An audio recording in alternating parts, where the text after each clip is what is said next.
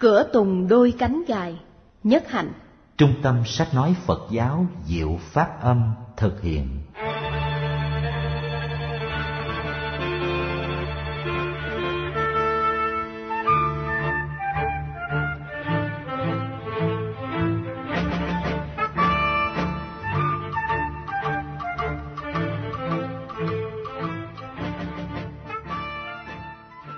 Khi chàng dũng sĩ về đến chân núi, thì trăng cũng vừa lên.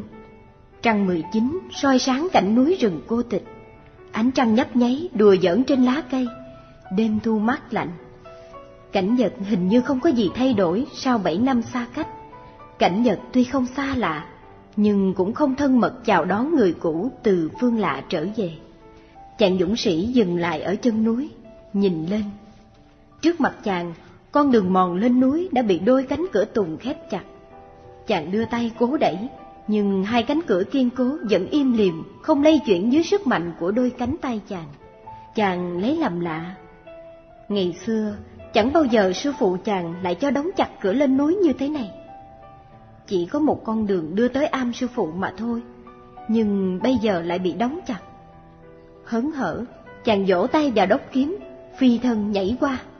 Nhưng chàng không nhảy qua khỏi, một mãnh lực gì nếu lấy thân chàng trở lại, khiến chàng không cất mình lên khỏi hai cánh cửa tùng. Chàng rút gươm định chém rời cánh cửa, nhưng khi chạm tới cánh cửa, lưỡi gươm văng trở lại như chạm vào thép cứng. Chàng trùng tay, đưa lưỡi gươm lên nhìn, lưỡi thép sáng loáng dưới ánh trăng, cánh cửa tùng rắn quá, và hình như đã thu nhận thần lực của sư phụ chàng, nên đã đóng kín đường mòn lại một cách hết sức vững chãi. Chàng thở dài cho gươm vào giỏ, rồi ngồi phịch xuống tấm đá lớn gần bên, ôm đầu nghĩ ngợi. Bảy năm về trước, chàng còn nhớ rõ khi chàng xuống núi, sư phụ chàng đã lặng lẽ nhìn chàng một hồi lâu, không nói năng gì. Cái nhìn của người tuy dịu dàng, nhưng có lẫn đôi chút xót thương. Chàng đã cúi đầu im lặng trước đôi mắt dịu hiền và cái nhìn bao dung của sư phụ. Hồi lâu người mới thông thả bảo chàng. Ta không thể giữ con ở mãi bên ta. Thế nào rồi con cũng phải xuống núi để hành đạo, để cứu người và giúp đời. Ta cho rằng con có thể ở lại cùng ta trong một thời gian nữa, trước khi con rời ta xuống núi. Nay con đã muốn xuống thì con cứ xuống. Nhưng con, à, ta mong con nhớ những điều ta dặn khi con đã đi vào cuộc sống đồng sự và lợi hạnh. Rồi người cặn kẽ dặn chàng về những điều chàng nên tránh và những điều chàng nên làm. Sau hết, người từ tốn và dịu dàng để tay lên vai chàng. Con phải nhớ những tiêu chuẩn hành động mà ta đã truyền thọ cho con trong năm sáu năm trời học tập. Chớ bao giờ làm một việc gì có thể gây khổ đau cho mình và cho kẻ khác. Trong hiện tại cũng như trong tương lai, hãy tiến bước mạnh dạn trên con đường mà con chắc có thể đưa con và mọi người về nơi giác ngộ. Nên nhớ muôn đời những tiêu chuẩn khổ vui và mê ngộ để mà hành đạo độ đời. Thanh bảo kiếm mà ta đã trao cho con, con hãy sử dụng nó để diệt trừ ma chướng. Hãy xem đó như lưỡi gươm trí tuệ nơi tâm. Con sẽ dùng để hàng phục bê chướng và si vọng. Nhưng để giúp con, ta cho con thêm một bảo bối này, để con có thể thành tựu công quả một cách dễ dàng.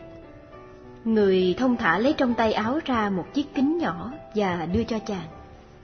Đây là mê ngộ cảnh. Tấm kính này sẽ giúp con biết rõ thiện ác chính tà. Có người gọi nó là kính chiếu yêu. Bởi vì qua tấm kính này, con có thể thấy được nguyên hình của loài yêu quái. Chàng nhận bảo kính và cảm động đến nỗi không nói nên lời.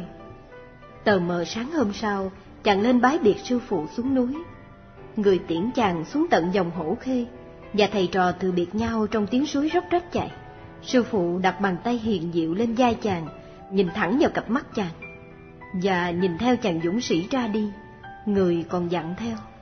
Nhớ không con, nghèo khổ không thay đổi, vũ lực không khuất phục, giàu sang không mờ ám ngang. Ta ở đây đợi ngày con mang đạt nguyện trở về. Chàng nhớ lại những ngày đầu tiên xuống núi tiếp xúc với cuộc đời.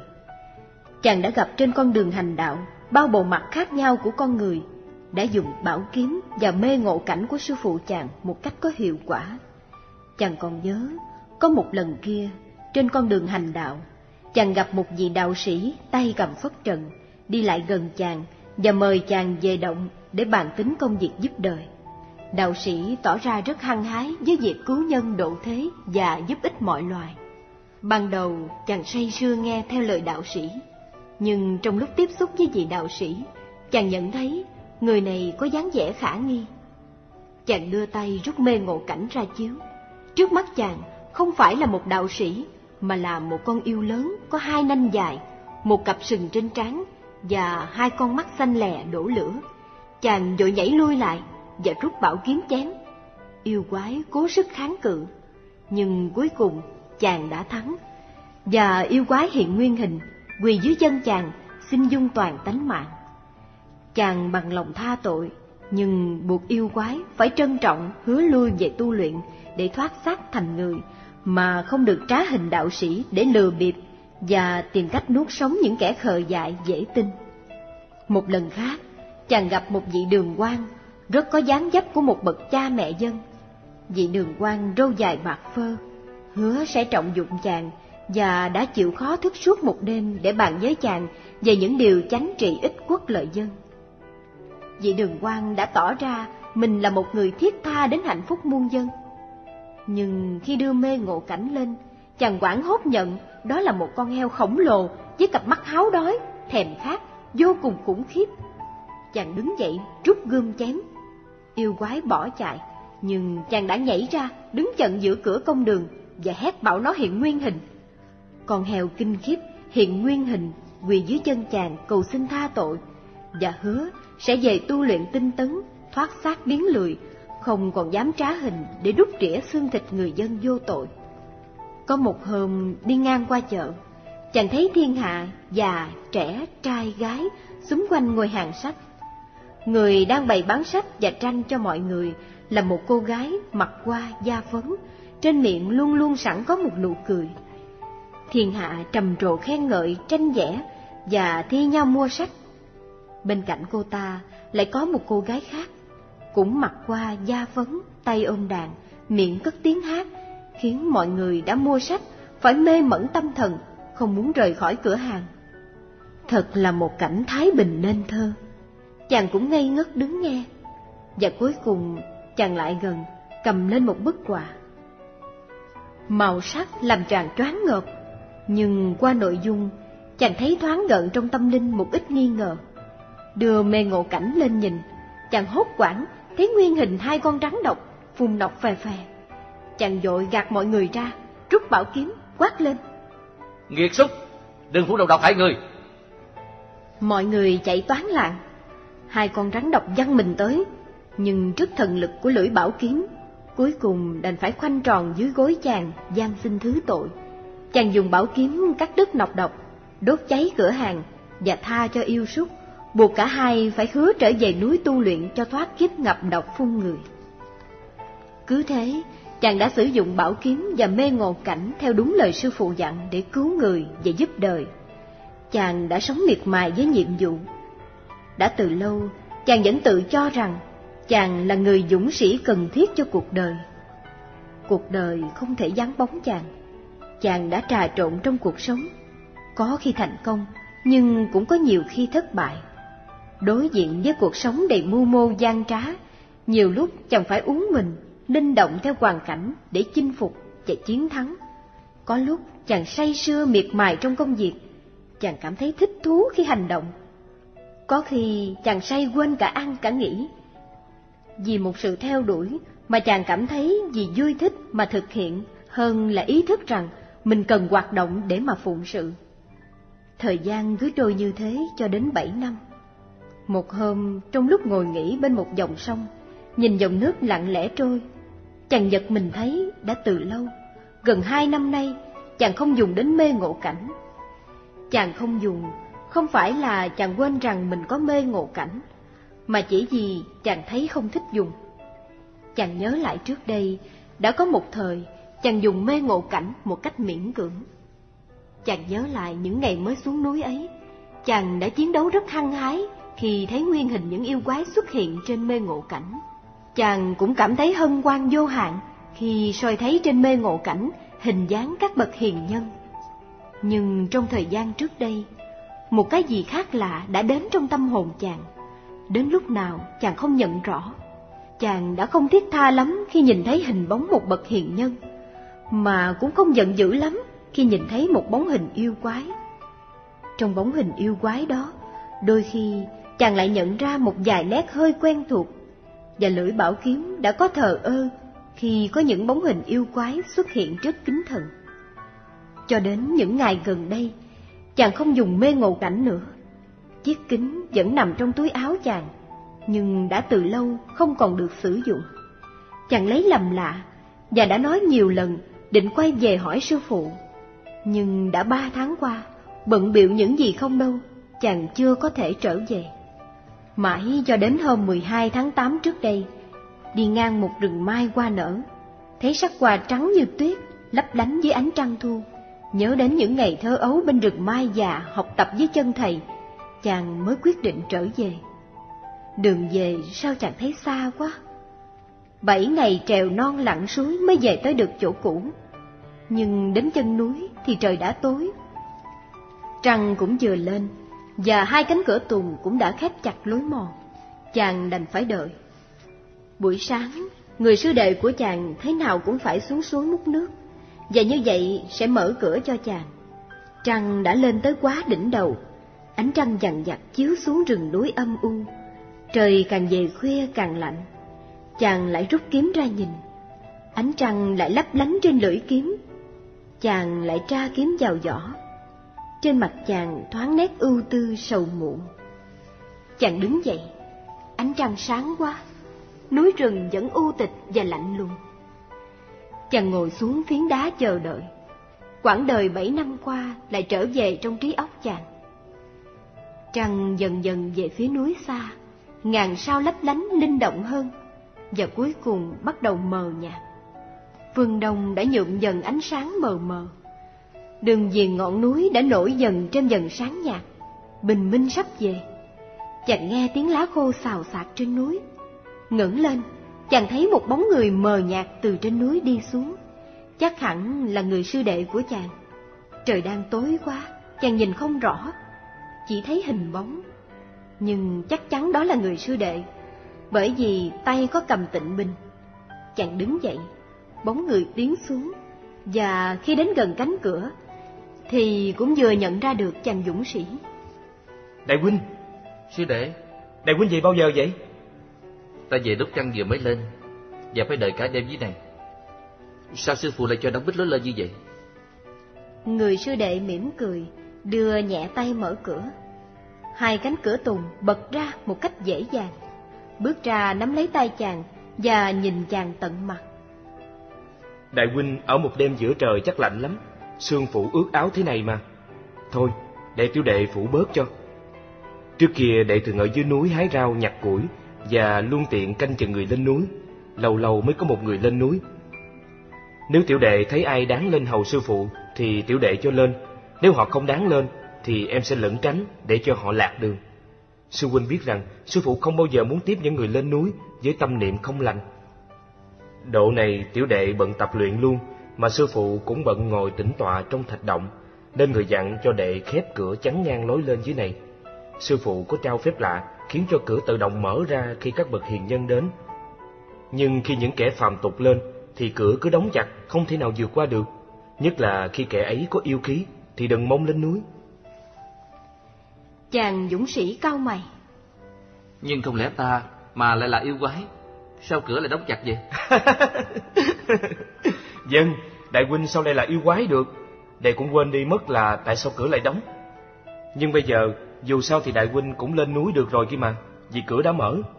Nhưng đại huynh đợi em chút nghe. Đệ tiêu đệ xuống suối múc nước rồi cùng lên một thể. Hay đại huynh xuống suối với đệ cho vui. Cười lên đi, đại huynh giận ngay mà nét mặt trông khó đăm đăm như vậy. Hai anh em cười gian. Chàng dũng sĩ đi theo người sư đệ xuống suối. Mặt trời vẫn chưa lên, nhưng phương đông đã rạng hai người đã có thể nhìn rõ mặt nhau. Mặt suối lặng trong, in màu hồng của rạng đông. Bóng hai người đứng song song in hình trên mặt suối. Chàng dũng sĩ trong bộ võ phục hiên ngang, lưng đeo trường kiếm. Người sư đệ trong y phục tiểu đồng hòa nhã, tay cầm tịnh bình. Hai người cùng nhìn bóng mình in trên mặt nước mỉm cười. Một con bọ nước nhảy, làm mặt nước hồng gợn nhẹ, và bóng hai người rung rung theo làn sóng nước gợn. Bóng chúng ta trên mặt nước đẹp quá. Nếu bây giờ tiểu đệ múc nước thì sóng dậy và bóng tan mất. Anh nè, đại huynh, mê ngộ cảnh sư phụ cho đại huynh còn giữ đó không? Còn đấy. Tại sao chúng ta không đem ra chiếu hình chúng ta xem nào? Chàng sực nhớ là từ lâu chàng chưa chiếu mê ngộ cảnh thử trước hình bóng mình. Chàng lấy kính thần ra, lau bụi vào giặt áo, chiếu trên mặt nước. Hai anh em châu đầu vào mặt kính. Nhưng bỗng cả hai người cùng hét lên một tiếng kinh hoàng, khủng khiếp. Và tiếp theo đó, chàng dũng sĩ ngã quỵ trên bờ suối bất tỉnh. Tiếng thét kinh khủng làm chấn động cả núi rừng quang dại. Một con nai đang uống nước phía trên dòng, quảng hốt ngẩng đầu lên nhìn, ngơ ngác kinh sợ. Người sư đệ vừa trông thấy trong kính thần, hình bóng của mình đứng bên cạnh hình bóng một con yêu to lớn, với đôi mắt tối sâu như hai miệng giếng không đáy, hay chiếc răng dài quặp sâu vào chiếc cằm vuông, trên một khuôn mặt xám ngoẹt như gà cắt tiết. Người sư đệ rùng mình dụi mắt nhìn lại. Trên bờ suối đá xanh, chàng dũng sĩ vẫn nằm ngã lăn bất tỉnh, trên mặt vẫn còn in rõ nét kinh hoàng, đau khổ, hiện hình một cách thảm hại trên con người đã từng xông pha lăn lộn bảy năm trong cuộc đời đầy cát bụi. Phụ chú, tôi chấm dứt câu chuyện ngang đây, mà nghĩ rằng chàng dũng sĩ sẽ không còn lên núi được. Nhưng sau đó tôi nghĩ có thể thêm vào một đoạn như sau. Người sư đệ đến ôm lấy chàng dũng sĩ và lấy nước suối giả vào mặt chàng. Vài phút sau chàng tỉnh dậy, nét mặt vô cùng bi thảm. Hình bóng trên mê ngộ cảnh hiện ra bất ngờ quá, và ý thức tự giác trong nháy mắt đã làm cho chàng ngã quỵ. Chàng đã mất hết nghị lực, mất hết sự sống. Tứ chi chàng rời rã, chàng không thể đứng dậy được nữa. Một chân quỵ xuống cát, người sư đệ dịu dàng nâng chàng ngồi dậy. Nét thiểu não và khổ đau còn in rõ trên khuôn mặt chàng. Thôi, đại huynh vui lên, chúng ta sẽ lại lên núi. Giọng nói của người sư đệ êm như một hơi gió thoảng, nhẹ như một tiếng thì thầm. Nhưng chàng lắc đầu thất vọng, chàng không còn muốn sống.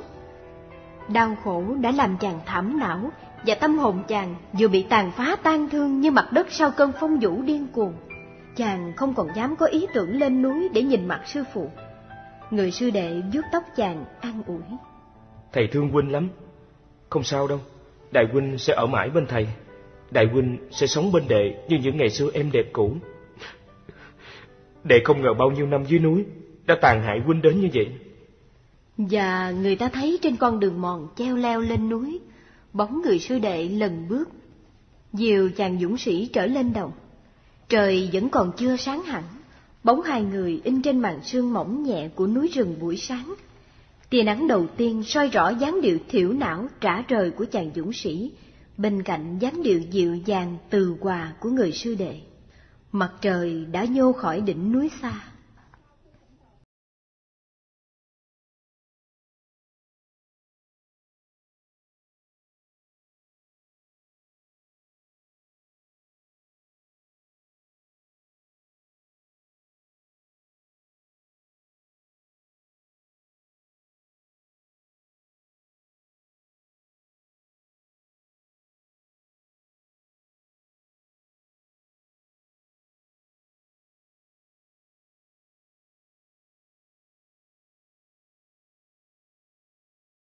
Đọc nước cành chim. Để tưởng niệm nhất chi mai, Trong một khu rừng thâm u ở cao nguyên, Có một cổ thụ già, Người ta không biết là đã sống mấy ngàn năm. Thân cổ thụ lớn 18 người ôm không xuể. Những chiếc rễ lớn của cổ thụ Phần nhô lên trên mặt đất, Chạy ra một đường bán kính 45 thước. Mặt đất dưới tàn cổ thụ mát lạnh lạ lùng. Thân cổ thụ cứng như đá móng tay bám vào chỉ làm đau ngón tay. Tàn cổ thụ chuyên chở hàng dạng tổ chim, hàng trăm ngàn con chim lớn nhỏ. Buổi sáng khi mặt trời lên, tia nắng đầu như một chiếc đũa của một nhạc trưởng tài ba làm phát động một bản hợp tấu vĩ đại của hàng ngàn giọng chim. Bản hợp tấu hùng mạnh như sự bừng tỉnh của mặt trời sau đỉnh núi. Tất cả dân chúng của núi rừng đều đứng dậy, hoặc trên hai chân, hoặc trên bốn chân, kính cẩn và đôi khi ngơ ngác. Trong một cái bọng cây lớn chỉ bằng một trái bưởi biên hòa, nơi thân cổ thụ cao cách mặt đất đúng 12 thước, có một chiếc trứng chim nhỏ màu nâu. Không biết con chim nào đã tới đặt chiếc trứng xinh đẹp kia vào bọng cây. Bọng cây không được lót bằng cọng rơm hoặc tờ lá khô nào. Người ta có thể nghĩ là chiếc trứng kia không phải là từ một con chim sanh ra, mà là do khí thiên của rừng già và sức sống của cổ thụ ung đúc kết thành. Ba mươi năm mà chiếc trứng vẫn nằm y nguyên không nở. Có những đêm, loài chim thức giấc thấy mây che trên bọng cây, và từ bọng cây có ánh sáng chiếu ra làm rạng rỡ cả một góc rừng. Vào một đêm trăng tròn tháng tư, chiếc trứng nở và một con chim lạ ra đời. Con chim nhỏ xíu kêu chim chiếp trong đêm lạnh. răng rất sáng, sao rất sáng.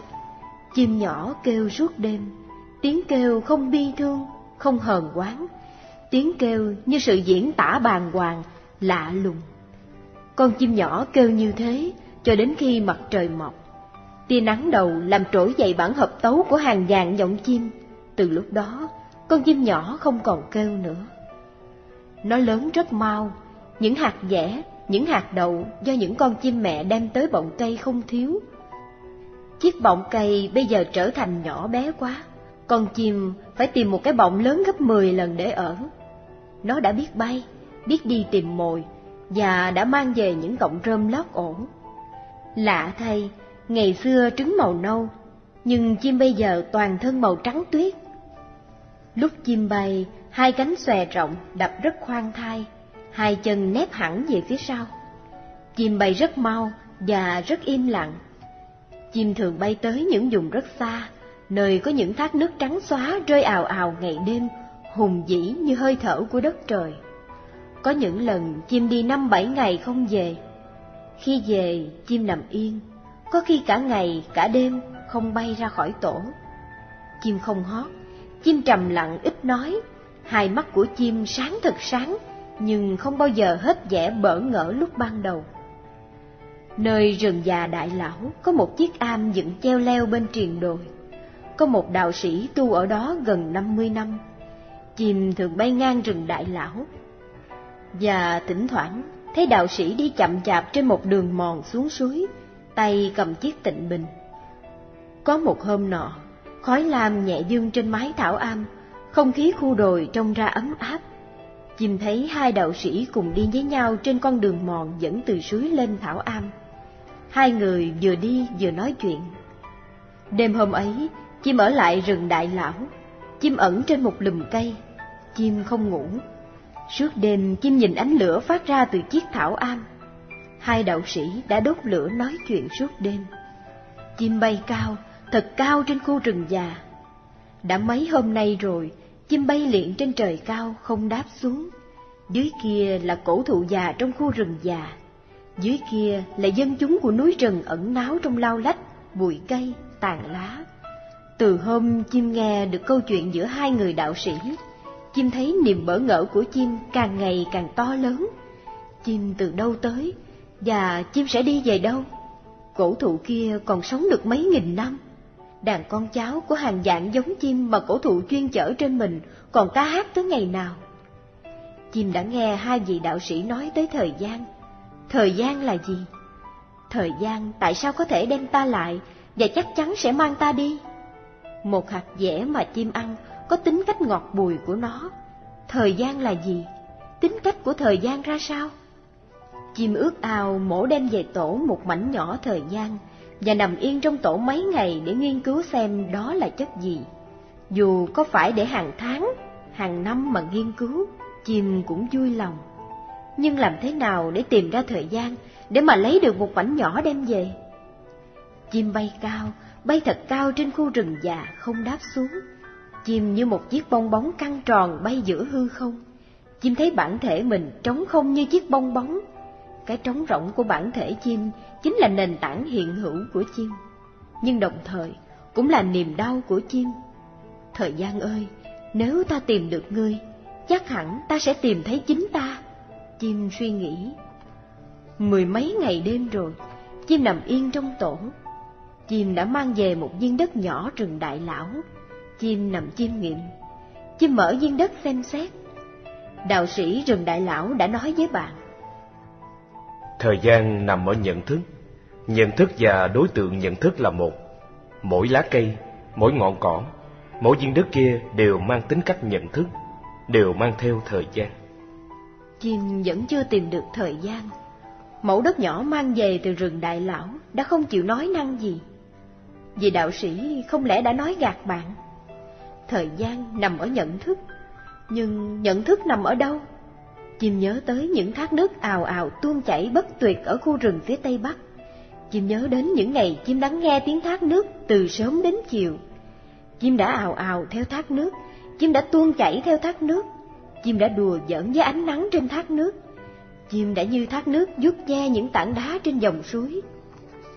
Chim tưởng chim là thác nước, và chính tiếng ào ào tuôn chảy bất tuyệt kia chính là từ chim phát ra.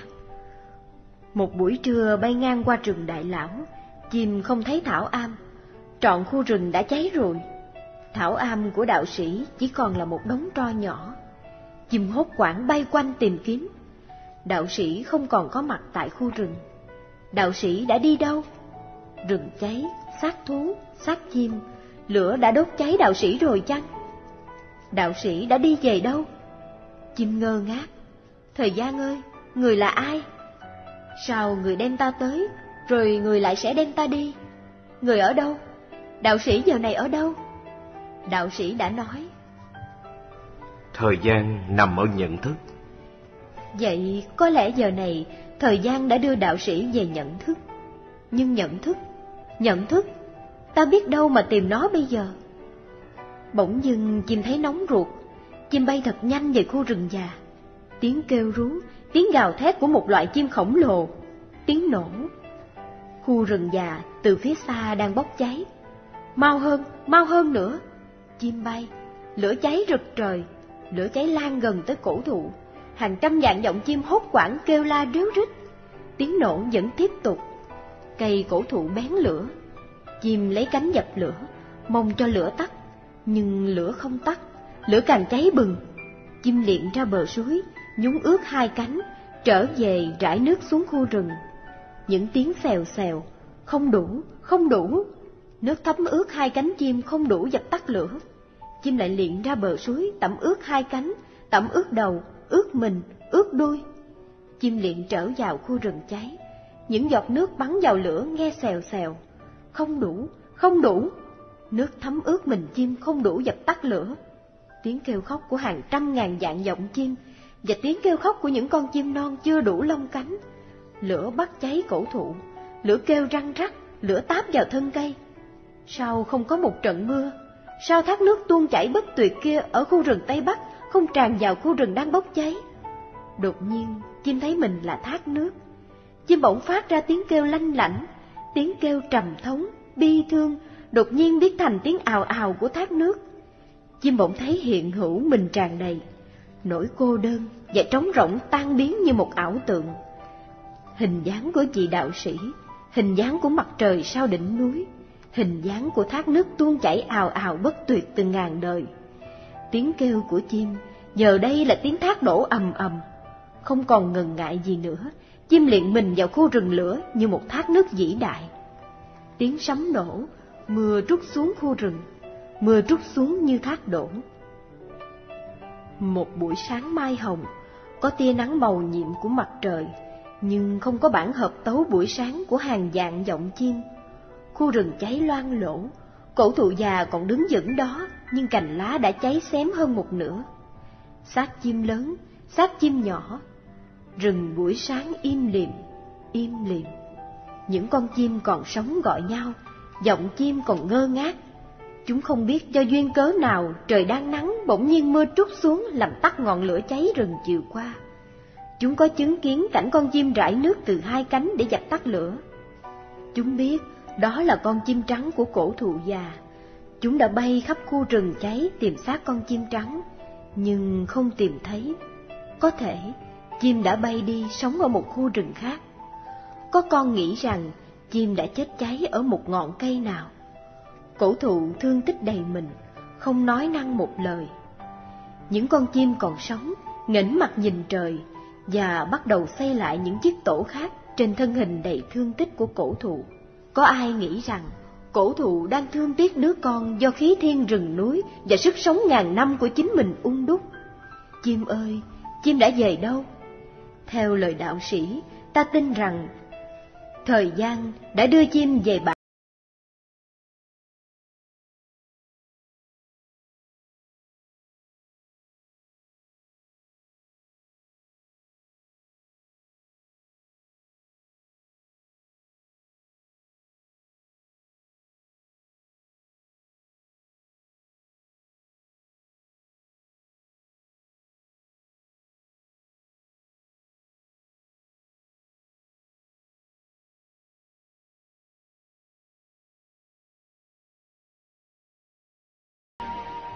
một bó hoa đồng. Ngày xưa, có một bác nông phu tánh tình dễ thương, người vợ bác sanh được hai người con thì mất. Bác nuôi hai con cho đến khi thằng anh lên 16 tuổi và con em lên 11 thì bác thọ bệnh và qua đời. Theo lời di chúc của bác, hai người con chôn bác trên một đám ruộng nhà, một đám ruộng xung quanh có trồng nhiều cây ô môi và cây so đũa. Dù nhà nghèo, bác nông phu đã quyết tâm không bán bớt ruộng đất của cha ông để lại. Bác đừng nói với hai con. Bốn đám ruộng nhà mình là do tổ tiên nhiều đời để lại. Trong di chúc truyền miệng lại từ sáu đời. Ông cha chúng ta căn dặn rằng con cháu không ai có quyền bán đất. Hai anh em nghe nói rằng tổ tiên cách đây sáu đời đã từ miền Trung di cư tới. Trước đó, đất đai miền này chưa được khai phá và chưa thuộc về quyền sở hữu của bất cứ tư nhân nào. Bốn đám ruộng hiện nay là công trình khai phá của thế hệ đầu tiên vào Nam lập nghiệp. Có thể họ không phải là nông phu, mà chỉ là người ẩn sĩ, học lấy nghề nông để tìm đường thoát khỏi những ràng buộc của hoàng lộ trong gai. Từ đó, con cháu trở thành nông phu thuần túy. Trước khi mất, bác nông phu đã gọi hai con đến bên giường và dặn dò nghiêm mật. Cha đã từng nói với các con là bốn đám ruộng nhà mình, con cháu không ai bán. Sau khi cha mất rồi, các con phải giữ gìn khai thác những đám ruộng đó, không cho ai thuê mướn. Đã từ năm đời nay, cha ông chúng ta tin rằng có vàng bạc châu báu chôn ở một nơi trong bốn đám ruộng đó. Nhưng từ ấy đến nay, chưa ai tìm ra được. Nghe nói là tổ tiên của chúng ta từ miền Trung vào đây đã chôn giấu những kho tàng ấy. Các ngài có để lại một bài kệ nơi trang 44 của cuốn Gia Phả. Ông nội các con nói rằng bài kệ ấy có thể là chìa khóa đi tìm chỗ chôn kho báu vật. Đã từ năm đời, chưa ai tìm được báu vật, bởi vì chưa ai hiểu được ý nghĩa sâu kín của bài kệ. Ông nội các con có nói với cha rằng Muốn hiểu được ý nghĩa sâu xa của bài kệ thì phải để ra thật nhiều thì giờ mà chiêm nghiệm. Trong suốt cuộc đời của ông nội các con, đất nước chúng ta thường bị loạn lạc và ông nội các con đã phải đi lánh nạn nhiều lần, nhà cửa bị tan nát. Ông nội các con đã phải cực nhọc lắm mới xây dựng được căn nhà này. Vì vậy nên ông nội các con không có thì giờ để nghiền ngẫm bài kể Trước khi mất, ông nội các con có căn dặn lại mọi điều và hy vọng rằng cha sẽ có tháng rộng năm dài mà chiêm nghiệm về bài kệ. Nhưng than ôi, dù không bị chạy loạn, dù không phải lo cất lại nhà, cha vẫn không có được thì giờ để làm công việc đó. Sau khi cưới mẹ các con, cha tưởng rằng công việc đồng án sẽ nhàn hạ hơn bởi vì mẹ con cũng là con gái một nông dân cần mẫn lắm. Mẹ con rất đảm đang, không những lo lắng hết công việc trong nhà, mà còn giúp cha rất đắc lực trong công việc ngoại đồng. Tuy vậy, cha vẫn không có được chút thì giờ rộng rãi cần thiết để làm cái công việc mà bao nhiêu thế hệ mong mỏi mà chưa làm được. Nay thì Hoài Bảo đã trao về thế hệ các con. Đừng quá bận rộn như cha. Hãy làm đủ ăn mà thôi. Đừng phí hết thì giờ vào việc mưu sinh. Các con hãy thay cha mà tìm ra được ý nghĩa sâu xa của bài kệ, tìm ra được kho vàng. Như vậy thì mới khỏi phụ lòng của tổ tiên chúng ta nơi chính suối. Cuốn gia phả cho vẫn cất trong chiếc hộp gỗ đặt trên bàn thờ. Các con phải nhớ là bài kệ ở trang 44. Sau khi chôn cất cha xong, hai anh em lại trước bàn thờ tổ tiên và thỉnh cuốn gia phả xuống. Cung kính mở ra đúng trang 44, người anh đọc bài kệ như sau. Thượng vô phiến ngõa già, hạ vô trác chùy địa, hoặc dịch phục trực nghệ, hoặc sách trượng nhi chí, động chuyển xúc sử gian, tợ long dược thôn nhĩ. Cả hai ngồi lặng yên thật lâu, tuần nhang đã cháy gần hết trên bàn thờ. Cô em gái mới lên tiếng. Anh hai có hiểu được chút gì không? Em nghe bài kệ hay hay, nhưng em chẳng hiểu được chút nào hết Người anh không đáp, lẳng lặng xếp cuốn gia phả lại, bỏ vào hộp gỗ, kính cẩn đặt lại trên bàn thờ. Cả hai lại sụp lại trước tổ tiên. Một lúc lâu, người anh nói. Đúng như lời của ông nội dạy, phải có tháng rộng năm dài mới hiểu nổi lời của tiên tổ. Chúng ta sẽ nghe lời nội dạy, nhất định là sau khi thu xếp cửa nhà, chúng ta sẽ để thời giờ thật nhiều để chuyên tâm nghiên cứu bài kệ. Năm tháng qua mau, hai anh em nhà kia đã xây dựng lại căn nhà tổ tiên thành một ngôi nhà mới. Họ được mùa liên tiếp trong sáu năm, nên dư sức xây lại ngôi nhà. Mái ngói đỏ chói, những cây mít ngoài sân xanh mát sum xuê, trái kiểu nặng từ gốc tới ngọn. Giữa lúa không khi nào rơi. Hai con trâu đen khỏe mạnh, thay nhau kéo cài, dỡ những thửa ruộng đất đen như mung, làm mọc lên những cánh đồng lúa xanh mơn mởn. Hai anh em làm ăn khá giả, người trong làng hầu hết đều yêu mến hai người. Người anh cũng như người em, cả hai đều tốt bụng. Có người tới dây lúa, họ không bao giờ từ chối, không bao giờ lấy lãi một thành hai như mọi người. Không có kẻ túng bấn nào đến gõ cửa mà cửa không mở. Người làm lụng phụ với anh em đều là người chân thật, biết xem của chủ như của mình. Khách khứa vào những ngày kỵ dỗ ra vào tấp nập, ai cũng khen là anh em tốt phước. Các cô gái trong làng đều để ý tới người anh, nhưng chưa bao giờ người anh nghĩ đến chuyện cưới vợ. Anh ta nhất quyết không lấy vợ để có thể có nhiều thì giờ nghiền ngẫm tới bài kệ của tổ tiên để lại trong cuốn gia phả trên bàn thờ. Cô em gái cũng đến tuổi lấy chồng. Các chàng trai làng cũng đều ngắm nghé, bởi vì cô vừa thùy mị, xinh đẹp, vừa hiền hậu nhân từ. Cô lại là một người làm ruộng giỏi, giúp anh quán xuyến công việc từ trong tới ngoài. Nhiều người đã nhờ mai mối tới dạm, nhưng cô thảy từ chối. Có lẽ là cô cũng đồng ý với anh cô sống độc thân để có đủ tự do và thời giờ mà tìm ra ý nghĩa của bài kệ. Nhưng hai anh em chưa ai tìm ra được ý nghĩa của bài thơ. Công việc làm ăn tuy chẳng có gì bận rộn quá mức, nhưng cả hai đều cảm thấy không có thì giờ. Nợ nần không có, nhà cửa khang trang, ruộng đất vì nhiêu, mùa màng không thất bát. Người làm lụng giúp đỡ không thiếu, tại sao thì giờ lại cứ đi mau như tên bay? Có lúc người anh nằm dắt tay lên trán suy nghĩ suốt đêm. Cơ nghiệp của cha ông để lại, anh đã gánh giác tốt đẹp nhưng tại sao trong lòng anh thấy không vui? Bài thơ thâm diệu kia có dính líu gì tới cuộc đời anh? Tại sao chưa tìm ra được ý nghĩa mầu nhiệm của nó, thì anh vẫn không thấy trong lòng an ổn? Anh thật có cần tìm ra kho vàng bạc của cha ông để lại chăng? Hay chỉ cần làm theo lòng mong đợi từ đời này sang đời khác của họ? Lắm khi anh tự nghĩ, cơ nghiệp mà anh đã xây dựng, nào nhà cửa, nào giường tược ruộng nương, chính là trở ngại cho sự tìm kiếm của anh. Một ngày chỉ có 24 giờ đồng hồ, thức dậy, cơm sáng ra đồng, chiều chăm lo công việc, cho đến khi trâu bò về chuồng. Buổi tối, sau khi tắm rửa và ăn cơm, anh đi ngủ. Ngày nào cũng như ngày nào, gặp những ngày hội, anh cũng nghỉ ngơi rong chơi, tham dự. Nào có bận biệu gì lắm cho đang. Có ai tay không làm mà hàm có nhai đâu. Một ngôi nhà, một dựa lúa, những thửa ruộng, một đàn trâu bò, đó có phải là một nơi nương tựa căn bản hay không? Trên cái căn bản ấy, tại sao anh chưa lên đường đi tìm? Anh còn thiếu thốn gì? Thì giờ, ông nội nói đến thì giờ. Cha anh nói đến thì giờ.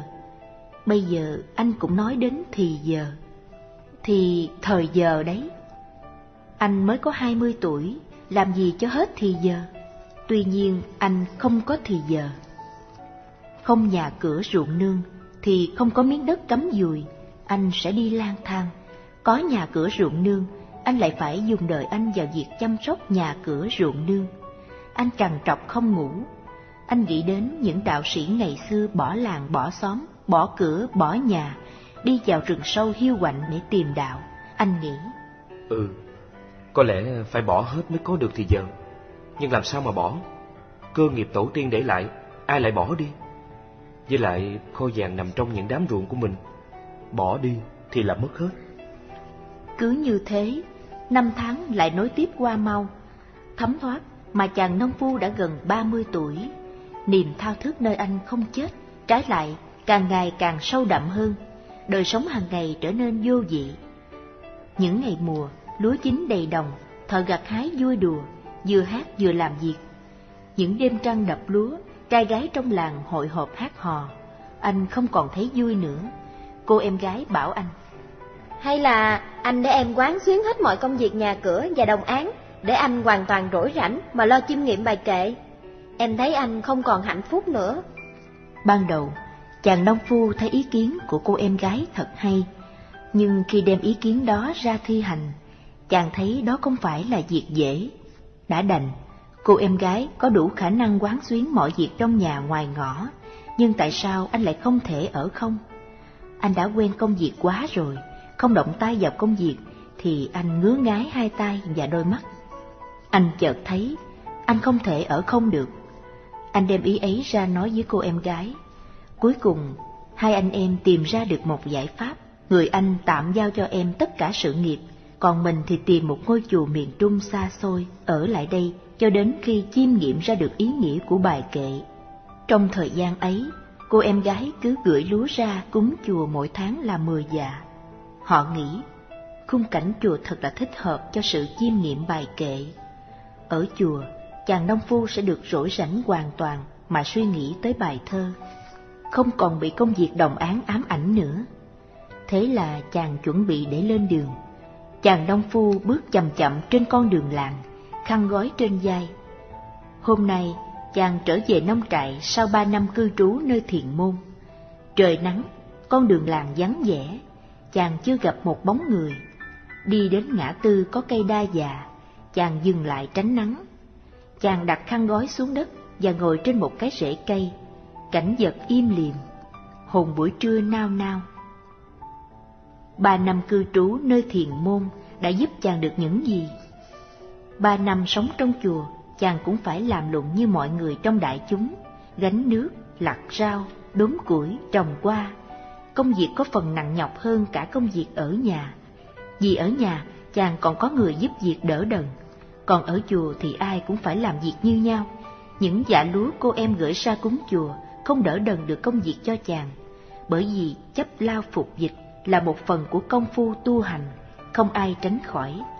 Bài kệ chàng học thuộc lòng từng câu, từng chữ một.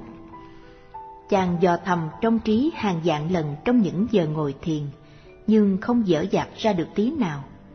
Hai câu đầu chàng cho là bí hiểm nhất. Trên không manh ngói che, dưới không chỗ cấm dùi. Một địa điểm như thế thì thật có khác gì một phi địa điểm, không lý là một cái ao. Một cái ao vẫn có thể cấm dùi được, mà trong bốn thửa ruộng làm gì có ao? Chỉ có cái ao bèo sau nhà mà thôi. Không lý kho tàng lại chôn giấu dưới đáy ao, hay lấy kho tàng che giấu dưới một tảng đá. Đúng rồi, trên một tảng đá thì không thể cắm dùi được, mà trong bốn đám ruộng chàng từng cày bừa, làm gì có một tảng đá nào? Chàng nghĩ, một nơi mà trên không manh ngói che, thì phải là một nơi lộ thiên. Như vậy thì phải loại ra những nền nhà cũ và mới. Chàng cho là chàng hiểu được câu ấy. Còn câu thứ hai, dưới không chỗ cắm dùi, thì chàng còn phân dân. Đến hai câu, hoặc mặc áo lạ lại, hoặc sách gậy mà tới, thì chàng lại còn phân dân hơn, có thể là nơi chôn cất những tổ tiên đầu đến lập nghiệp ở đây. Hai câu thơ gợi ý đám tang, có nhiều người mặc áo tang, có thầy tu cầm tích trượng, nhưng mồ mã tổ tiên đều nằm giữa nghĩa địa trong làng, chứ không phải trong bốn thửa ruộng. Trong đám ruộng xung quanh có trồng cây ô môi và xua đũa, thì chỉ có mồ của cha mẹ chàng mà thôi. Trong khi đó, thì bài kệ đã để lại từ sáu đời rồi. Kho vàng không thể nào được chôn ở nghĩa địa. Hai câu chót cũng làm chàng lạc lõng không kém. Lúc tiếp xúc động chuyển, như rồng nhảy đớp mồi. Ban đầu, chàng nghĩ đó là địa lý. Có lẽ một thầy địa lý giỏi có thể tìm ra được vị trí chôn cất kho tàng. Vị trí này có lẽ là vị trí con rồng và miệng con rồng. Một thầy địa lý giỏi có thể quan sát để tìm ra trong bốn thửa ruộng của chàng cái vị trí miệng rồng để giúp chàng đào lên kho tàng cha ông để lại. Nhưng nghĩ cho kỹ lại, đất ruộng phẳng lì trong một diện tích hàng mấy trăm cây số, làm gì có rồng xanh hổ trắng. Có lần, chàng đưa bài kệ cho một vị thượng tọa trong chùa để nhờ ngài giải thích. Mai ra tìm được ý nào chăng? Vị thượng tọa đọc xong, hỏi chàng chép được ở sách ngữ lục nào.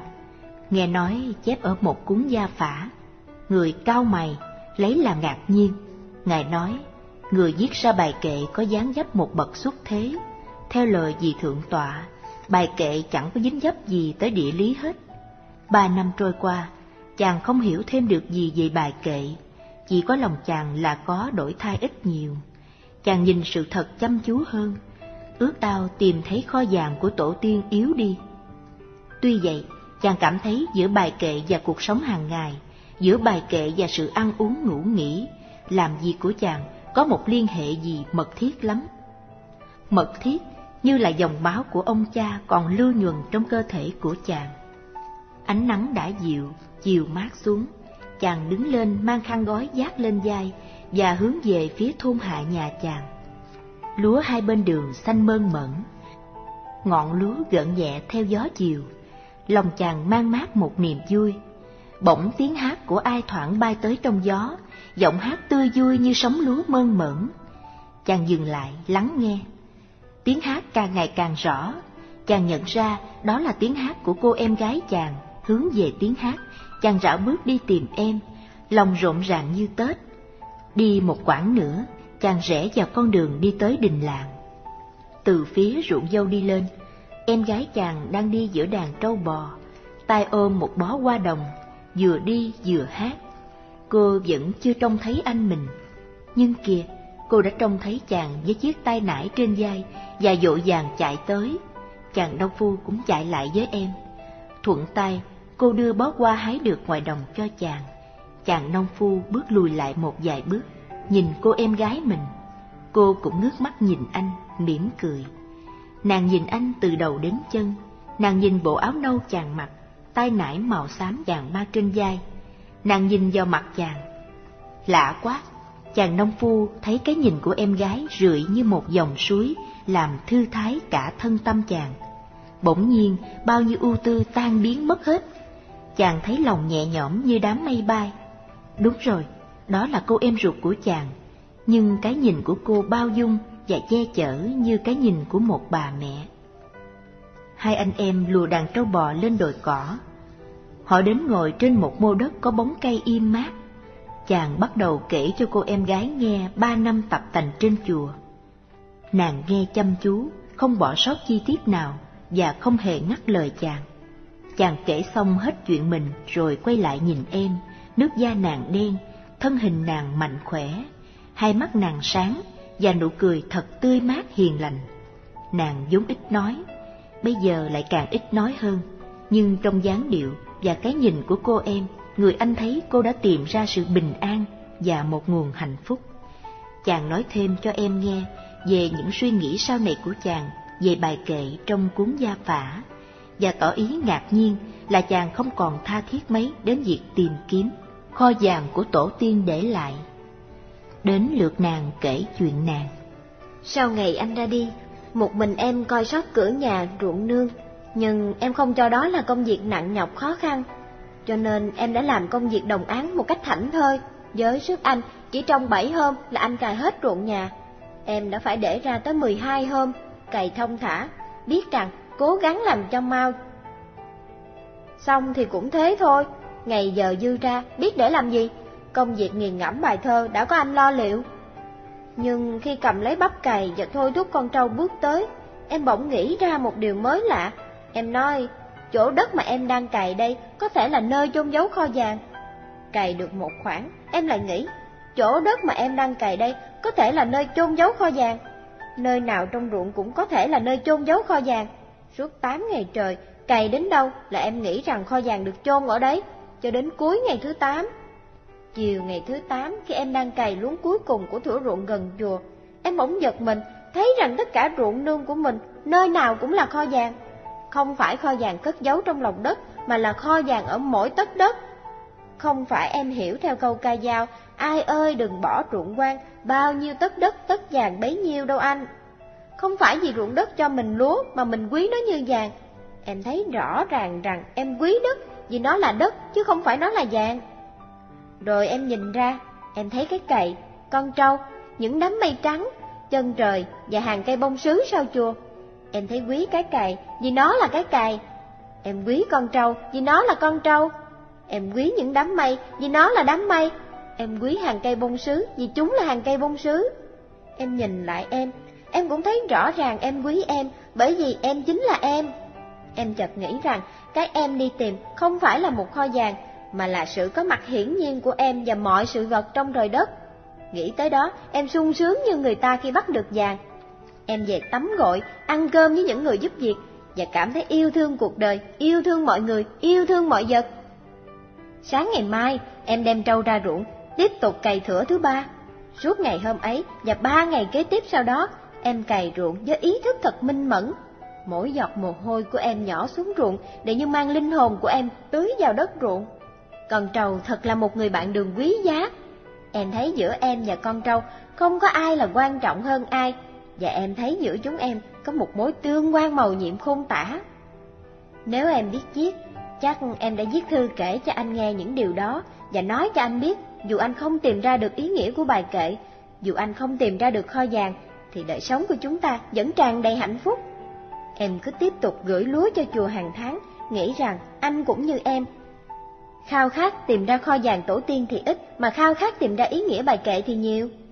Riêng em, em cứ mỉm cười, không biết nếu tìm ra được kho vàng thì anh và em sẽ dùng vàng để làm gì? Mua thêm ruộng đất chăng? Xây cất thêm nhà cao cửa rộng chăng? Ruộng đất từng này cày chưa đủ sao? Nhà cao cửa rộng, ai mà coi sóc? Cái nhà của anh, mấy miếng ruộng của anh đã chẳng đủ làm cho anh mệt mà phải lánh về chùa đó sao? Em không thiết tha đến kho vàng, nhưng bài kệ của tổ tiên để lại, em thấy có gì liên hệ mật thiết đến đời em. Từ ngày anh đọc cho em học thuộc, em thường hay đọc lại một mình. Tới nay, em vẫn không hiểu được gì hết. Tuy vậy mà mỗi lần đọc lên, em thấy rung động trong lòng. Cũng như khi nghe tiếng gió kêu xào xạc trong lá xua đũa, em chẳng biết là gió muốn nói gì. Em chỉ biết em ưa nghe tiếng gió thổi như thế và cảm thấy gần gũi rất nhiều với gió cây. Em không ham muốn gì kho vàng, nhưng nhờ 8 ngày cày ruộng trên kho vàng mà em tìm ra được em, được lưỡi cày, được con trâu, được đám mây trắng, được cây bông sứ sao chùa. Tối hôm ấy em nằm mơ thấy cha của chúng ta, nhìn em mà cười, nét mặt rất là hoan hỷ. Em nói với cha, chính anh hai con đã tìm ra kho vàng đó, chứ không phải con đâu. Từ ngày ấy, em sống rất thanh thản, ca hát với trâu bò, với nương khoai, ruộng lúa. Em đợi anh về. Anh ở lại trên chùa đến ba năm, bây giờ anh về, em sung sướng quá. Chàng nông phu trẻ lắng nghe những lời nói xuất phát từ đáy lòng của cô em gái. Chàng giật mình khi nghe cô em nói đến phát kiến của nàng về kho vàng. Đã có lần chàng đi sát tới nơi mà chàng chưa vượt qua được. Đúng là cũng có lần chàng cảm thấy không thiết tha tới kho vàng. Đúng là chàng cũng thấy là bài kệ của tổ tiên có liên hệ mật thiết tới chàng, như dòng máu tổ tiên hiến dân lưu chuyển trong từng huyết mạch.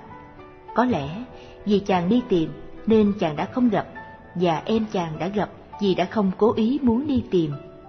Sáng mai, chàng sẽ đi thăm lại ruộng đồng, nhìn lại bắp cải, con trâu, bông lúa, để lấy lại lòng mình sau bao nhiêu năm xa cách. Chàng đứng dậy, nhìn cô em với cặp mắt biết ơn và thân ái. Hai người lên đồi, lùa đàn trâu bò xuống.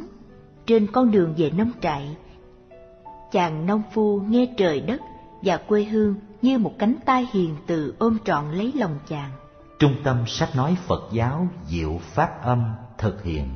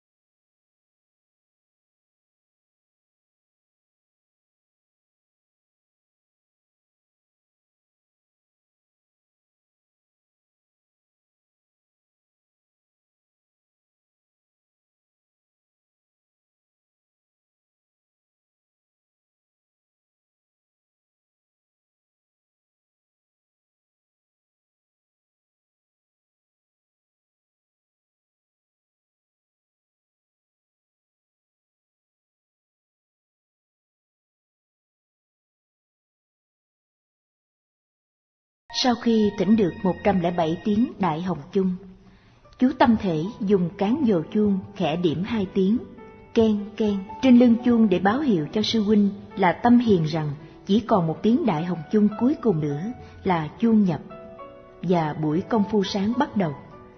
Đợi cho tiếng chuông thứ 107 ngân hết, chú mới thỉnh đến tiếng chuông thứ 108. Từ gốc thiền đường chùa Pháp Dân đã có tiếng bản của chú Tâm Hiền chú tâm thể đáp lại ba tiếng bản đầu bằng ba tiếng đại hồng chung và buông dồ xuống, trong khi ba hồi bản của chú tâm hiền kéo dài. Đại chúng đã sẵn sàng trên chánh điện để bắt đầu công phu sáng. Chú tâm thể khoác chiếc áo tơi lên vai cho ấm, rồi xuống thang lầu chuông, mở cửa đi ra ngoài. Sương mù còn dày đặc. Chú rảo bước về phía tam quan chùa, nơi vị khách tăng tá túc. Vị khách tăng này tới chiều hôm qua nhưng không vào chùa, chỉ xin nghỉ chân lại ngoài tam quan. Chú tâm thể đã mời ông ta vào nghỉ ở hậu liêu, nhưng ông từ chối. Ông ta chỉ xin chú một mảnh chiếu để ngủ lại ngoài tam quan, nói rằng sáng sớm khi sương mù tan, ông đã phải lên đường sớm. Chiếc áo nâu bạc màu của khách tăng dính đầy bụi đường. Tóc râu dài ra, nhưng ông không cạo. Mặt mũi tay chân ông đầy cáo ghét và từng người ông bay ra một mùi tanh hôi nồng nực. Chú tâm thể đã vào chùa, bưng ra một chậu nước và một chiếc khăn tay, rồi chú lại vào đem ra một chiếc chiếu trải trên nền tam quan. Đợi vị khách tăng rửa mặt rửa tay xong, chú bưng chậu nước vào. Và một lát sau, chú bưng ra một chiếc mâm gỗ. Trên mâm có một bát cháo trắng, một ít dưa cải, một chén nước tương và một đôi đũa vị khách tăng cảm ơn chú và thông thả ngồi ăn cháo. Chú chắp tay chào ông và khoan thai trở vào chùa. Độ một giờ sau, khi trở ra tam quan, chú thấy vị khách tăng đã nằm cuộn tròn trong chiếc chiếu ngủ. Chú cúi xuống bưng chiếc khay lên và nhẹ nhàng đi vào nhà bếp. Sáng nay ra tới tam quan, chú thấy vị khách tăng đang yên lặng ngồi thiền. Ông không ngồi theo kiểu kiết già chân phải của ông co gối lên, bàn chân đặt trên mặt đất, mình mẩy vị khách tăng hôi hám, nhưng phong thái của ông thật thanh cao. Tuổi ông vào khoảng 45-50, nét mặt của ông sáng sủa, khả kính, tóc râu ông ra dài, có lẽ đã nhiều tháng chưa cạo. Đây là một du tăng hành tung bí mật. Chú tâm thể thầm nghĩ. Có lẽ ông ta không muốn làm phiền đại chúng chư tăng vì hình thức không chỉnh đốn của ông cho nên đã từ chối lời mời hôm qua của mình vào ngủ trong hậu liêu. Sáng nay, nếu mình được nói chuyện với ông ta, thì thế nào mình cũng biết được chút ít hành tung của ông. Nghĩ thế, chú định quay trở vào chùa để mang ra một thao nước ấm cho vị khách tăng rửa mặt.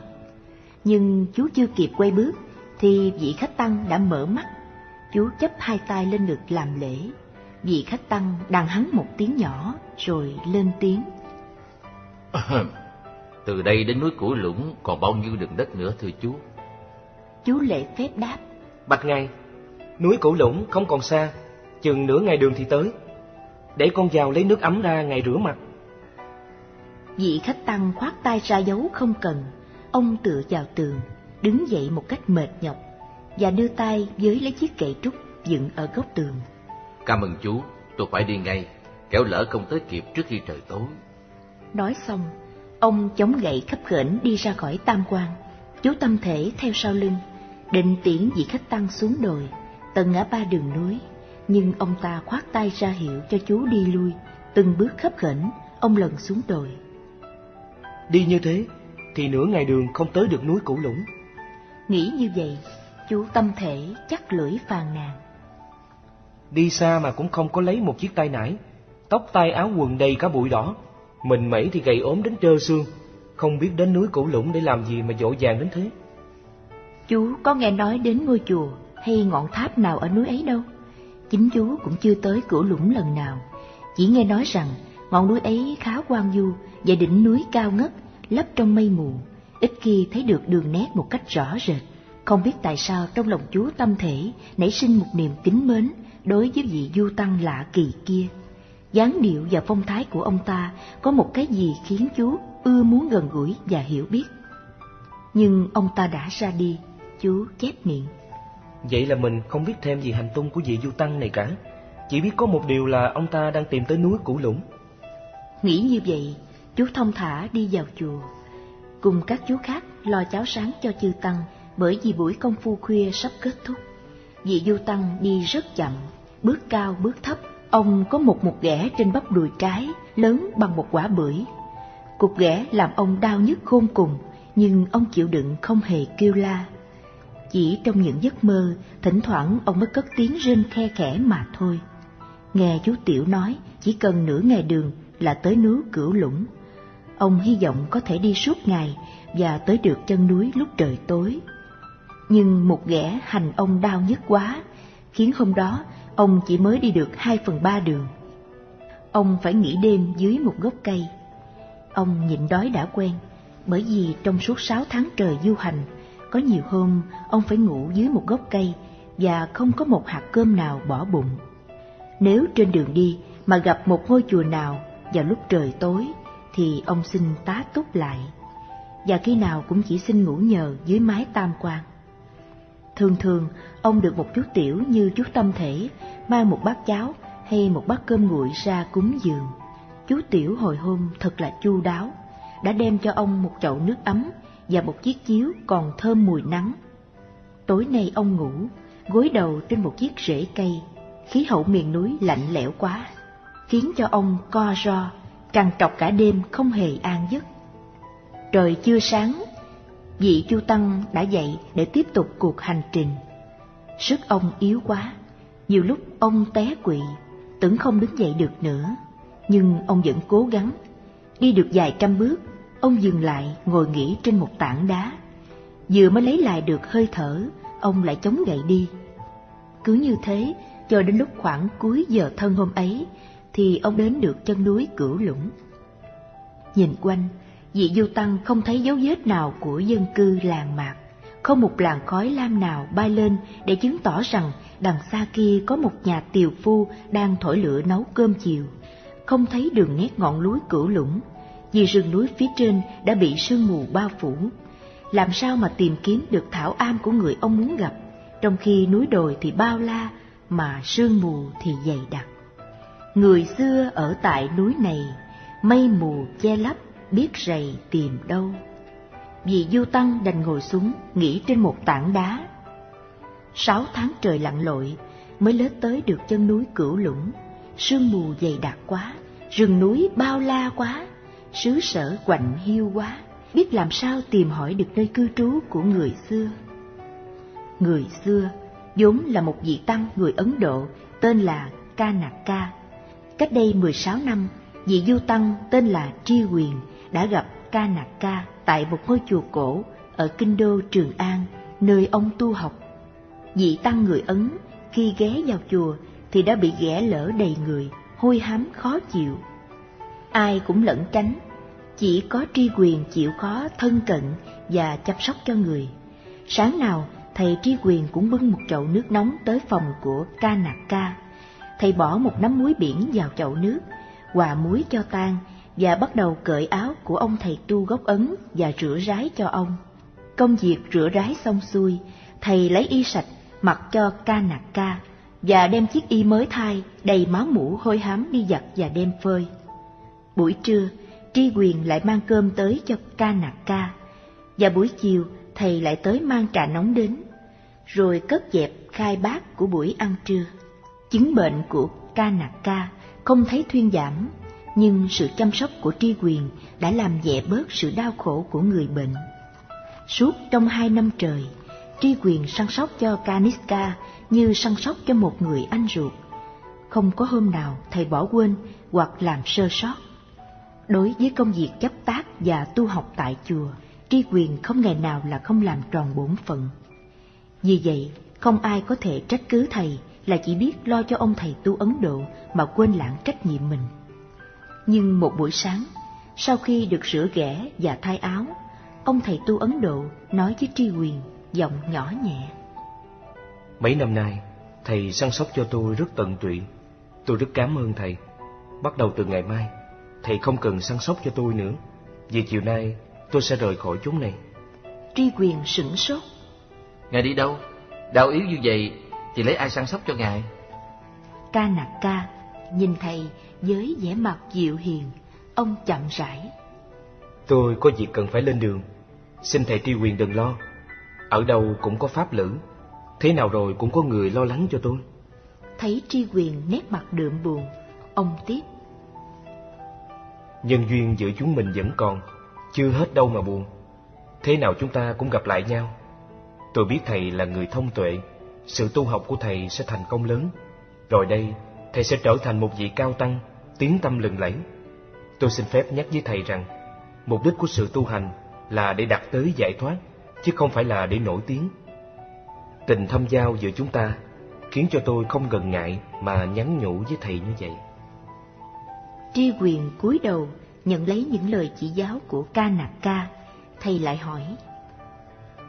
Ngài có nói là trong tương lai chúng ta sẽ gặp nhau. Vậy thì bao giờ chúng ta gặp nhau? Và gặp nhau ở chốn nào? Tôi chỉ sợ sau này trên bước đường hành quá, Ngài không còn lưu lại một dấu vết.